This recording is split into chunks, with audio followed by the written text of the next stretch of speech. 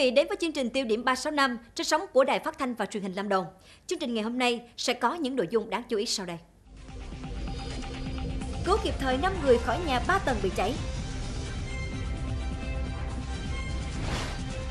Đổi mã vùng điện thoại cố định 13 tỉnh thành từ ngày 11 tháng 2 năm 2017. Âm nhạc đường phố và những đam mê ở Đà Lạt.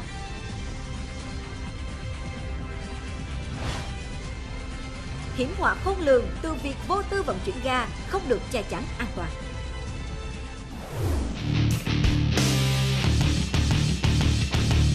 Thưa quý vị, vào lúc 16 giờ chiều ngày 11 tháng 2, trên đường Lê Đại Hành, quận 11, thành phố Hồ Chí Minh đã xảy ra một vụ cháy một căn nhà 3 tầng.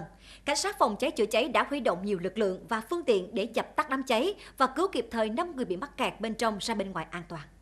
Vụ cháy được phát hiện vào khoảng 16 giờ ngày 11 tháng 2 tại tầng trệt của căn nhà 3 tầng nằm trong hẻm có địa chỉ 347 trên 160 đường Lê Đại Hành, quận 11. Lực lượng tại chỗ đã huy động nhiều thiết bị chữa cháy nhưng vẫn không thể khống chế được ngọn lửa. Trong khi bên trong nhà còn nhiều người bị mắc kẹt và nguy cơ cháy lan trong hẻm đông đúc. Cảnh sát phòng cháy chữa cháy quận 11 đến hiện trường, sau đó đã huy động lực lượng và nhiều phương tiện, trong đó có xe thang để dập lửa và giải cứu 5 người bị kẹt ở các tầng trên của căn nhà bị cháy ra ngoài an toàn. Đám cháy được dập tắt hoàn toàn sau khoảng một tiếng đồng hồ. Vụ cháy đã thiêu rụi nhiều tài sản, trong đó có 8 xe gắn máy. Nguyên nhân cháy bước đầu được xác định do chập điện. Theo quyết định của Bộ Thông tin và Truyền thông, từ ngày 11 tháng 2 năm 2017, Việt Nam thực hiện chuyển đổi mã vùng điện thoại cố định với 13 địa phương đầu tiên, nhằm hạn chế tối đa những ảnh hưởng tác động không mong muốn đối với những doanh nghiệp cá nhân từ sự thay đổi này. Nhiều biện pháp kỹ thuật, truyền thông đã được đẩy mạnh thực hiện đồng bộ. Theo lộ trình năm 2017, mã dùng cố định thay đổi tại 59 trên 63 tỉnh thành phố. Riêng 4 tỉnh Vĩnh Phúc, Phú Thọ, Hòa Bình và Hà Giang giữ nguyên. 13 tỉnh đầu tiên thực hiện chuyển đổi trong đợt 1 ngày 11 tháng 2 gồm Sơn La, Lai Châu, Lào Cai, Điện Biên, Yên Bái, Quảng Bình, Quảng Trị, Thừa Thiên Huế, Quảng Nam, Đà Nẵng, Thanh Hóa, Nghệ An, Hà Tĩnh. Giai đoạn 2 từ ngày 15 tháng 4 và giai đoạn 3 là ngày 17 tháng 6 với các tỉnh thành còn lại và theo quy mô lượng thuê bao sử dụng. Mặc dù chỉ thay đổi mã dùng, giữ nguyên số điện thoại, song để tránh ảnh hưởng nhiều đến người dùng, chủ trương chung là sẽ duy trì song song một thời gian phương thức gọi cũ và mới. Sau 30 ngày kể từ ngày chuyển đổi, khách hàng vẫn có thể liên lạc theo hai phương thức, phương thức cũ, theo theo số cũ và theo số mới. Ờ, hết 30 ngày rồi thì chúng tôi cũng sẽ có cái hệ thống thông báo hỗ trợ khách hàng. Khi khách hàng gọi đến theo cái số cũ thì nó sẽ thông báo rằng hệ thống đã Ờ, mã vùng quý khách gọi đã thay đổi và có tư vấn hướng dẫn cho khách hàng cái tổng đài hỗ trợ của chúng tôi tại tổng đài hỗ trợ đó chúng tôi sẽ tư vấn cho khách hàng uh, cái cách thức gọi theo phương thức mới. Tại nhiều quốc gia, việc chuyển đổi thay đổi mã dùng diễn ra thường xuyên, định kỳ từ 10 tới 15 năm nhằm tối ưu hóa nguồn lực tài nguyên cũng như nhu cầu đáp ứng phát triển của xã hội của các dịch vụ viễn thông mới. Tại Việt Nam, khi mà thuê bao cố định chỉ chiếm tới 5% tổng thuê bao sử dụng trong nước, khi mà các kênh truyền thông mới như mạng xã hội, di động, OTT phát triển không ngừng, cùng với sự sẵn sàng giải pháp của nhà mạng, thì sự chuyển đổi mã dùng lần này được đánh giá là sẽ ít gây ảnh hưởng tới xã hội, người dân, tổ chức sử dụng điện thoại cố định. Sau khi việc chuyển đổi mã vùng của điện thoại cố định được hoàn tất, theo thông tin của Bộ Thông tin và Truyền thông, khoảng tháng 9 năm 2017, toàn bộ người dùng thuê bao 11 số sẽ chuyển đổi về 10 số. Tuy nhiên, đây là vấn đề khiến nhiều người đã sử dụng SIM 11 số lâu năm quan tâm và lo ngại. Bộ Thông tin và Truyền thông cho biết chính sách quản lý kho số mới sẽ xóa bỏ hoàn toàn thuê bao di động 11 số. Những thuê bao này đều được chuyển thành 10 số. Thông tin này khiến những chủ nhân của các đầu 11 số không khỏi lo lắng, hoang mang. Hiện tại, theo thống kê sơ bộ của Bộ Thông tin và Truyền thông, sẽ có khoảng 40 triệu thuê bao di động 11 số được chuyển thành 10 số. Trong số đó, có không ít những người dùng đã sử dụng thuê bao lâu năm, đặc biệt là có thể gián đoạn liên lạc đối với những khách hàng sử dụng để thông tin liên lạc với gia đình, bạn bè và các đối tác kinh doanh. Có lẽ là sẽ có một số khó khăn, ví dụ như là họ phải thay đổi cái thông tin liên hệ, đặc biệt là đối với những người mà làm công việc kinh doanh. Thì cái số điện thoại đó là họ cho khách hàng này kia rồi sau khi mà mình đổi lại nó rất là mất công. Khi mà mình chuyển đổi như vậy thì sẽ rất là mất thời gian để mà mình thông báo đến từng người từng người thân của mình. Việc chuyển đổi để đồng nhất thuê bao 10 số trên khắp cả nước là một chính sách để hạn chế tối đa tình trạng sim rác đã tồn tại nhiều năm qua, đồng thời sẽ giúp cho hệ thống thông tin liên lạc được kiểm soát độc nhất. Nhưng đây cũng là một khó khăn cho người dùng lâu năm trong việc chuyển đổi số điện thoại liên lạc đặc biệt là với những người dùng có công việc kinh doanh. Trước tình trạng trên, các đơn vị mạng di động cần có những thông tin hướng dẫn khách hàng kỹ lưỡng trong việc chuyển đổi để người dùng có thể sớm ổn định trong việc thông tin liên lạc. Hơn một tháng nay, hiện tượng cây sầu riêng chết hàng loạt chưa rõ nguyên nhân tại các xã Ea Dông, Ea Kênh và thị trấn Phước An, huyện Krông Bắc, Đắk Lắk gây thiệt hại nặng nề về kinh tế, khiến người nông dân hoang mang. Địa phương chịu thiệt hại nhiều nhất là xã Ea Dông với diện tích trên 500 hecta sầu riêng được trồng xen canh trong các lô cà phê. Cây sầu riêng bị bệnh có biểu hiện đốm lá, cháy khô lá, chết ngược từ cành ngọn xuống cành gốc, nứt thân, thối cành, xì mủ và có tốc độ lây lan nhanh. Theo nhận định ban đầu của địa phương, do thời tiết bất thường mưa lớn kéo dài khiến cây bị nhiễm nấm. Hiện nay chính quyền địa phương đang vận động người dân tiêu hủy cây sầu riêng bị bệnh nặng, sử dụng các loại thuốc chống nấm để cứu chữa vườn cây. Của nhà là diện tích là 8 sao, mà trồng được à, tổng số cây là 85 cây. Đây giờ nó phát bệnh là cỡ 30 cây rồi cho coi như là à, đúng con trì thuộc mà đủ loại thuộc mà không không không không được. Hiện chưa thống kê được diện tích và ước tính thiệt hại do bệnh gây ra trên cây sầu riêng. Theo kết quả khảo sát bước đầu của Chi cục trồng trọt và bảo vệ thực vật tỉnh Đắk Lắk, Viện Khoa học Kỹ thuật Nông lâm nghiệp Tây Nguyên, hầu hết các vườn cây đều bị nhiễm bệnh với tỷ lệ hại khoảng từ 70 tới 80%. Chi cục bảo vệ thực vật tỉnh đã phối hợp với các cơ quan chuyên môn lấy mẫu rễ, thân lá cành của cây sầu riêng gửi về các viện trường để phân tích. Hiện tại thực tế thì cái cái kết quả thì chúng tôi vẫn chưa có được cái kết quả cụ thể rõ ràng. Do đó là à, trạm nó cũng phối hợp với à, à bộ phận kỹ thuật của chi cục phòng bảo vệ thực vật tỉnh à, có cái hướng dẫn tạm thời để cho bà con có cái à, biện pháp phòng trừ. À, thì qua theo dõi và à, thấy được cái triệu chứng cũng như cái hiện tượng thì cũng thấy rằng là có thể là do một số cái yếu tố à, nhiều yếu tố trong này tổng hợp như là phân bón rồi thời tiết rồi à, nấm bệnh. Chi cục trồng trọt và bảo vệ thực vật tỉnh Đắk Lắk hướng dẫn người dân tiêu hủy lá thân cành sầu riêng bị bệnh nặng, xử lý bằng dơ bột xung quanh gốc cây sầu riêng để không lây lan mầm bệnh. Khuyến cáo bà con nông dân sử dụng các loại thuốc phòng trừ nấm. Từ sáng ngày 11 tháng 2, tức rằm tháng Giêng, hàng ngàn người từ các tỉnh thành Nam Bộ đã đổ về hội Chùa Bà, phường Phú Cương, thành phố Thủ Dầu Một, tỉnh Bình Dương để thắp hương cầu an trong dịp lễ rằm tháng Giêng. Lễ hội Chùa Bà còn gọi là Chùa Bà Thiên Hậu được tổ chức vào rằm tháng Giêng hàng năm với các hoạt động cầu an đầu năm mới. Theo dân gian, đây là ngôi chùa mang lại nhiều tài lộc nên vào dịp lễ hàng năm đều thu hút rất nhiều người đến chùa. Ngoài chùa Bà cũ thuộc phường Phú Cường, thành phố Thủ Dầu Một, còn có chùa Bà khác tại thành phố mới Bình Dương. Tuy nhiên, hoạt động chính diễn ra chủ yếu tại chùa Bà cũ. Đến gần trưa 11 tháng 2, trong khuôn viên khu vực chùa Bà có hàng ngàn người tập trung để thắp hương cầu an. Dòng người xếp hàng dài đi vào bên trong chánh điện khiến khu vực này không còn một chỗ trống. Ban tổ chức phải liên tục phát loa thông báo, yêu cầu người dân không chen lấn xô đẩy, giữ gìn tư trang do lượng người quá đông, đồng thời bố trí hàng chục người trong chánh điện và sân chùa để hạn chế số lượng hương thấp, tránh tình trạng quá nhiều hương khói trong chùa. Ban tổ chức đã huy động các lực lượng công an, quân đội, dân quân bảo đảm trật tự. Cảnh sát giao thông túc trực tại các ngã tư quanh khu vực chùa để điều tiết phương tiện đi lễ. Ngoài ra để phục vụ người dân đi lễ, một số điểm giá xe miễn phí, nước uống cũng được bố trí quanh khu vực lễ hội.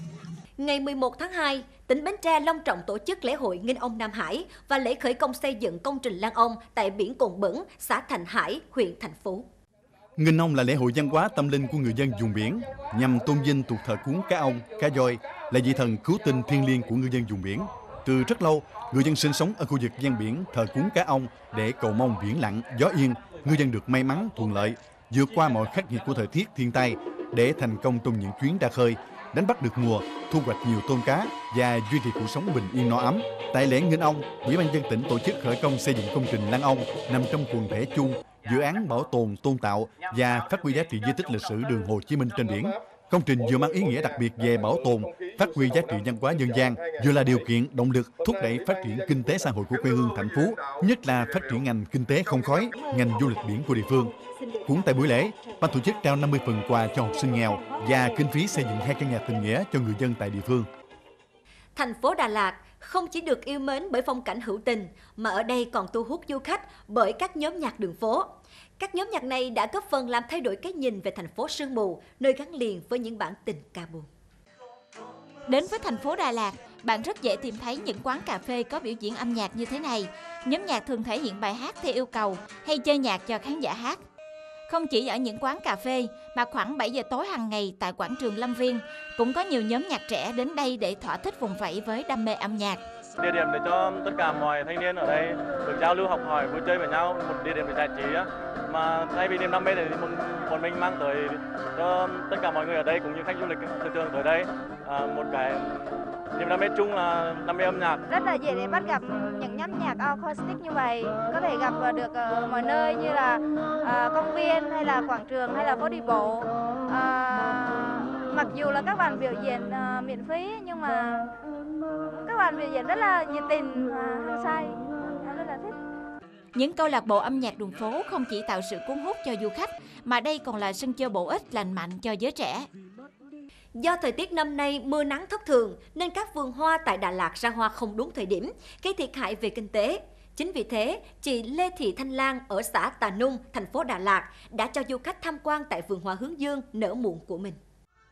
Nằm cách trung tâm thành phố Đà Lạt khoảng 15 km, vườn hoa hướng dương rộng trên 3.000 m2 của chị Thanh Lan đã trở thành điểm tham quan du lịch sau Tết cho rất nhiều du khách. Do vườn hoa nở không đúng dịp để phục vụ Tết Nguyên đán, tiếc vườn hoa bị bỏ đi, chị chuyển hướng sang mở cửa vườn cho khách tham quan chụp hình miễn phí. Lần đầu tới à, vườn hoa hướng dương thì ờ, chụp cái bộ ảnh cưới này thì tụi em cảm thấy rất là vui và hạnh phúc. Hiện tại nếu khách có nhu cầu mua hoa, chị cũng bán với giá 3.000 đồng một bông. Em cũng hy vọng là cái vườn hoa này sẽ hấp dẫn nhiều à, à, các bạn đến tới đây để vào ngày lễ tình nhân á. Vườn hoa hướng dương này sẽ được chị Lan giữ lại để phục vụ khách tham quan cho đến dịp lễ Valentine 14 tháng 2, xem như một món quà tinh thần thú vị của người dân ngoại thành Đà Lạt gửi đến du khách. Chương trình xin tiếp tục với những thông tin về an ninh trật tự và an toàn giao thông. Thưa quý vị, tối ngày 11 tháng 2 đã xảy ra một vụ hỗn chiến giữa hai nhóm thanh niên trên đường Võ Thị Sáu, thành phố Biên Hòa, Đồng Nai, khi hàng chục thanh niên dùng dao lê mã tấu rượt đuổi chém nhau loạn xạ trên đường. Ít nhất có hai thanh niên bị thương nặng, trong đó có một thanh niên bị chém gần đứt cánh tay trái và bể nát bánh chè đầu gối. Thông tin ban đầu, vào khoảng 20 giờ 30 phút, nhóm thanh niên của Nguyễn Chí Hiệp, 17 tuổi, ngụ phường Long Bình Tân, thành phố Biên Hòa, thuê một xe 7 chỗ ngồi với gần 10 đối tượng, mang theo dao lê mã tấu, đi từ xã An Hòa, thành phố Biên Hòa lên khu vực cầu Đồng Tràm thuộc khu phố 1 phường Thống Nhất Biên Hòa để giải quyết mâu thuẫn với một nhóm thanh niên khác. Khi vừa tới cầu Đồng Tràm, cả nhóm vừa xuống xe thì bất ngờ nhóm thanh niên khác đã đợi sẵn, dùng dao lê mã tấu được đuổi chém. Cả hai bên đã xông vào chém tới tấp và rượt đuổi nhau hàng trăm mét trên đường. Sau khoảng 5 phút, cảnh sát 113 gần đó cùng công an giao thông và công an địa phương đã có mặt tại hiện trường truy bắt các đối tượng. Ngay lập tức hai nhóm thanh niên bỏ xe và chạy vào các hẻm nhỏ để tẩu thoát. Tại hiện trường, công an đã thu giữ nhiều dao lê mã tấu của các đối tượng và kịp thời tạm giữ Hiệp và một đối tượng liên quan khác. Vụ hỗn chiến đã khiến ít nhất hai thanh niên trọng thương, trong đó một thanh niên bị chém đứt lìa cánh tay trái và một người tên Trần Đình Dương nát bánh chè đầu gối. Hiện công an thành phố Biên Hòa đang tiếp tục điều tra truy bắt các đối tượng. Những chiếc xe khi dừng đổ không có tín hiệu báo trước hoặc sai nơi quy định đều có thể là những chướng ngại vật vô cùng nguy hiểm đối với người đi đường. Không ít vụ tai nạn nghiêm trọng đã xảy ra trong các tình huống dừng đổ không đèn cảnh báo.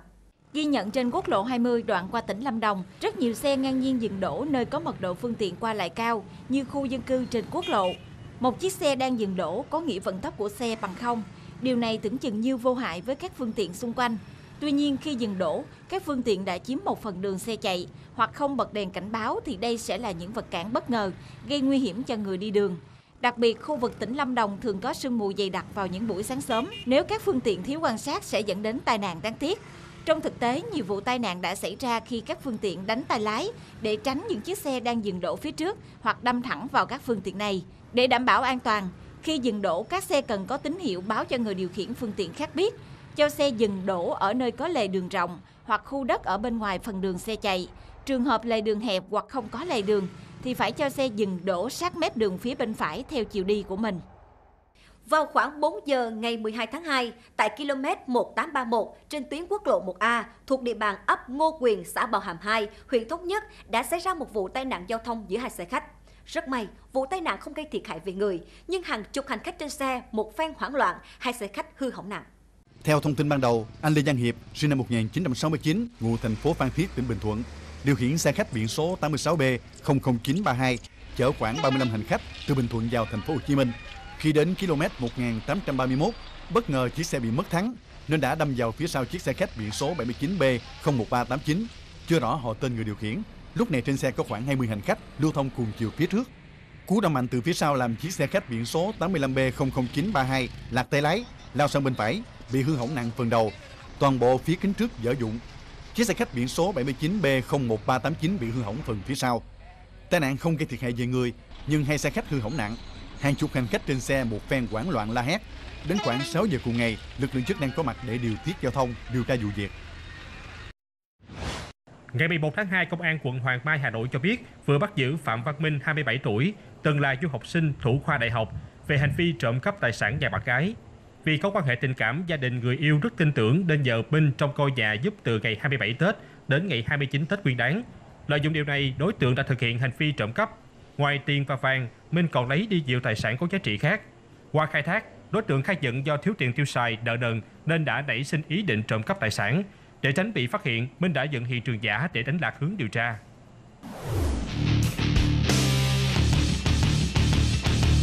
Phần cuối chương trình là một vấn đề hôm nay. Thưa quý vị, từ lâu, việc người dân vận chuyển ga bằng xe gắn máy, bằng xe ô tô mà không có thiết bị che chắn đã trở thành thói quen. Tuy nhiên, đặt các bình ga trực tiếp dưới ánh nắng mặt trời là mối nguy hiểm khôn lường đến sự an toàn về tính mạng và tài sản của người dân. Ghi nhận tại thành phố Cần Thơ, không chỉ ở các cửa hàng nhỏ lẻ mà tại nhiều chi nhánh công ty lớn nhỏ đều ngang nhiên đặt các bình ga với đủ kích cỡ lớn nhỏ ngoài trời. Mặc dù bị ánh nắng chiếu trực tiếp vào, nhưng hầu hết những bình ga đều không có bất kỳ một dụng cụ che đậy nào. Điều đáng nói hơn, các cơ sở này lại nằm gần các địa điểm tập trung đông dân cư như quán ăn, cửa hàng mua bán, nhà hàng. Nó rất là nguy hiểm. Đang tham gia giao thông thì lỡ nhiều khi nó có ngã đổ, nó có thể là xảy ra là nổ, có thể là gây thương, thương tích cho người tham gia đường. Không chỉ để bình ga ngoài trời, người dân còn vô tư đặt bình ga đầm ngang để chở mà không hề biết nguy hiểm của nó. Theo tiêu chuẩn Việt Nam TCVN 6223 1996 về yêu cầu vận chuyển chai khí đốt hóa lỏng ga, bình ga phải vận chuyển theo phương thẳng đứng và phải có bui, bạc che phủ kín, chắc chắn toàn bộ khoang chở hàng đảm bảo không thấm nước. Vì nếu vận chuyển bằng phương pháp ngang thì nơi chứa ga không còn nằm ở vị trí van đóng mở. Điều này rất dễ dẫn đến tình trạng xì ga dẫn đến cháy nổ khi bắt lửa hoặc những va chạm mạnh gây ra hậu quả khôn lường cho người đi đường và người chuyên chở. Như vậy để đảm bảo an toàn trong việc vận chuyển, hạn chế tối đa sự cố cháy nổ, các cửa hàng kinh doanh ga cần tuân thủ nghiêm ngặt các quy định về buôn bán vận chuyển khí ga. Đồng thời, các cơ quan chức năng cần quản lý chặt và xử lý nghiêm các trường hợp vi phạm để tránh các hậu quả đáng tiếc xảy ra. Thưa quý vị, đến đây thì thời lượng dành cho chương trình cũng đã hết. Cảm ơn quý vị khán giả đã quan tâm theo dõi. Chương trình Tiêu điểm 365 được phát sóng trên đài phát thanh và truyền hình Lâm Đồng. Xin kính chào và hẹn gặp lại quý vị vào chương trình ngày mai.